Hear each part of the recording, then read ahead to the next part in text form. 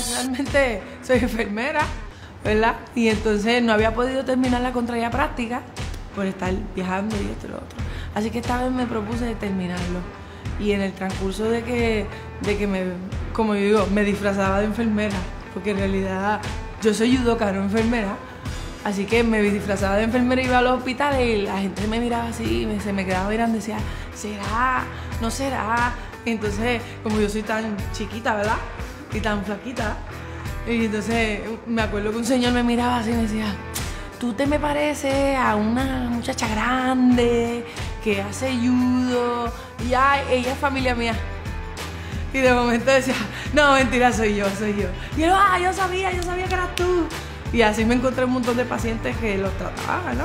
Y me decía, ¿tú eres la ayuda? yo, sí, pero hoy soy enfermera tuya. Así que fue una, una, manera diferente de, ser yo, de ser la yudoka. Ahora era la yudoka que se reía, que buscaba hacer chiste a la gente, pues yo siempre soy así, ¿verdad? Así que este, era lindo, era lindo que me reconocieran como enfermera y como, y como.